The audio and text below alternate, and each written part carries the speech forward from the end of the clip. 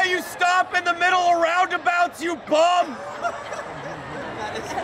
They're the worst people. It's a yield, come on.